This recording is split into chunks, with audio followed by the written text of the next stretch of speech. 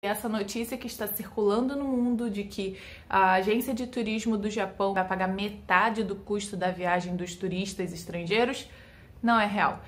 Fala pessoal, Marina Tsugi aqui, fazendo um vídeo para explicar uma notícia que rolou semana passada. A notícia saiu dia 21 de maio no Japan Times e viralizou ao longo dessa semana né? E muita gente vindo perguntar pra gente se era verdade, torcendo, falando tipo assim, olha só que máximo, o Japão vai pagar metade dos custos da nossa viagem e não é bem assim. Né? O Roberto Maxwell ele já fez um artigo assim que assim que surgiu a notícia, a gente já tinha alertado que achava isso pouco provável de acontecer, né? Mesmo que estava escrito no Japan Times naquela época, eles não tinham feito a correção que eles fizeram hoje. É, e o que, que acontece? Assim que eu fui conversar com o Roberto Maxwell para procurar informações mais, vamos dizer assim, oficiais, né, mostrando um pouco do que realmente foi falado pelo ministro do turismo, e ele falou, cara, não é bem assim, mas já estou terminando um artigo e, e eu vou publicar agora e aí eu te passo o link. Falei, beleza, tudo bem. Mas mesmo assim, o que acontece, né? Informação viral é assim: o site original publicou, Japan Times, e aí que na verdade não é nem assim um, um site oficial, é um site de notícia, ele publicou, ele mudou, acho que ele publicou na quarta, na sexta-feira ele alterou o, a publicação, mas já tinha se espalhado a informação para diversos outros sites, replicando o que tinha sido publicado originalmente. E aí o que, que acontece? Ah, parece telefone sem fio, a informação vai se distorcendo, se distorcendo e chega numa proporção que por acaso alguém falou: o Japão vai pagar metade dos seus custos de viagem. E não é bem assim, e é isso que a gente vai explicar aqui hoje. Primeira coisa que eu queria falar é o seguinte: assim que a gente recebeu a informação, eu falei, acho isso pouquíssimo provável de acontecer. No mesmo momento que eu recebi a informação, que foi até já de um site brasileiro, eu entrei no Japan Times para ler a matéria né, que foi publicada e realmente parecia que mas era, era um, parecia assim muito superficial, sabe? Aquela coisa assim, disseram que o cara disse que tem um fundo para investir no turismo, mas e aí, tá? Beleza, eu tenho um fundo para investir no turismo, mas no que que eu vou investir de verdade, tá? E ele disse que era algo para incentivar a volta do turismo, mas ele não disse em momento nenhum que ele ia custear a viagem de ninguém, muito menos que ele ia pagar 50% do custo da viagem. Isso não estava escrito em lugar nenhum. Agora, de onde o pessoal que replicou a informação tirou isso, sei lá, da cabeça. Então, é muito importante toda vez que vocês receberem alguma informação relacionada a algo aparentemente bom demais para ser verdade, desconfia, vai na fonte original, assim como eu fui na Japan Times e olhei e falei, cara, eles não estão dizendo nada disso aqui. E aí, você tenta usar lógica. Vamos lá. O Japão tá com problema de turismo? Ok, tá. Teve redução de turismo? Teve, mas isso não foi um problema só do Japão. É um problema mundial por conta da pandemia do Covid-19. Então, assim, não justifica o Japão tomar uma medida tão extrema de pagar 50% do custo de uma viagem. Pensando mais logicamente, se ele quer retomar a economia interna, seria lógico ele tentar incentivar o turismo interno, porque aí a economia roda dentro do próprio país.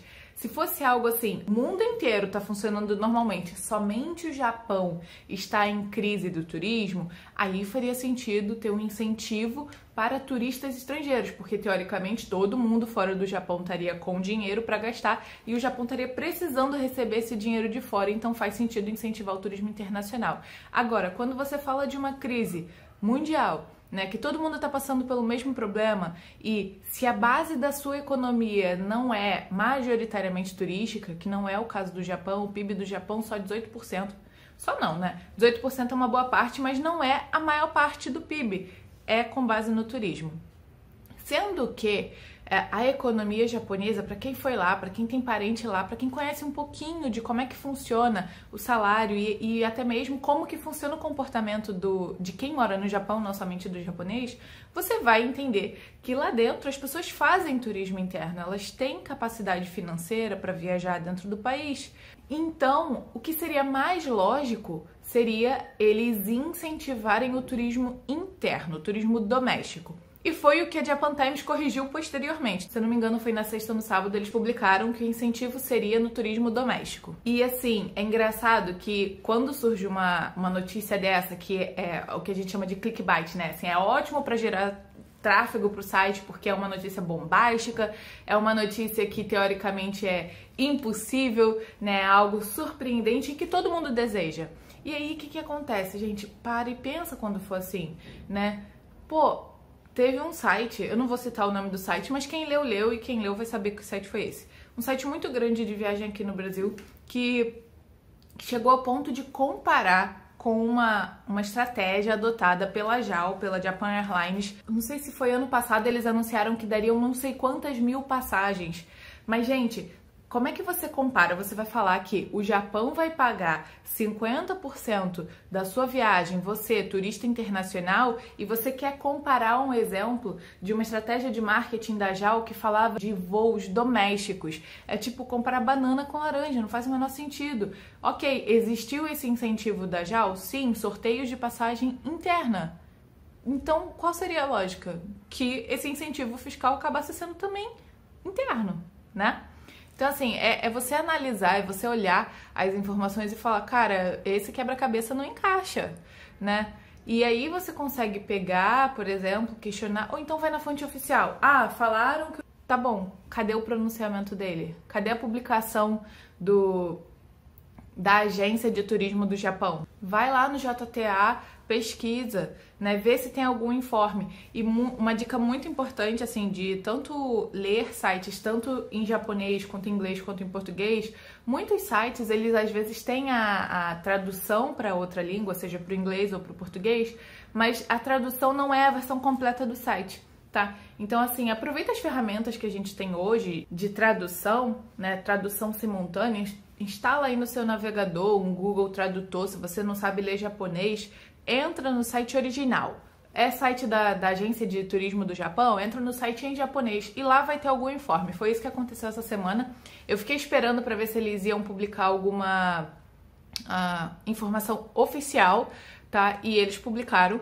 Né, eu vou deixar o link aqui na descrição para vocês lerem. É uma nota curtíssima falando que essa notícia que está circulando no mundo de que a agência de turismo do Japão vai pagar metade do custo da viagem dos turistas estrangeiros não é real, tá? O incentivo vai ser no turismo doméstico. E mais importante de tudo, gente, pensa no seguinte: o Japão já dá incentivo fiscal para vocês viajarem para lá pra caramba.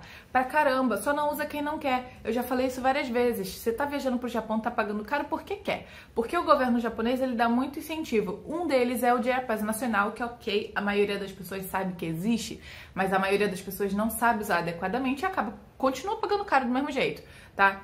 Outros incentivos, você que é portador do JR Pass, você tem outros descontos. Dentro das cidades tem desconto para turista internacional, tem cidade que você paga metade da entrada dos pontos turísticos, tem cidade que tem, tem tickets assim, é, os tops pontos turísticos dessa cidade, você compra, paga um preço fixo e pode ir em todos, sabe? Então assim, o Japão já dá incentivo pra caramba. Então, você só paga caro se você quiser. Né? A gente ensina aqui, a gente ensina no Instagram, a gente ensina no nosso canal. Para quem quer realmente economizar muito, a gente ensina no curso.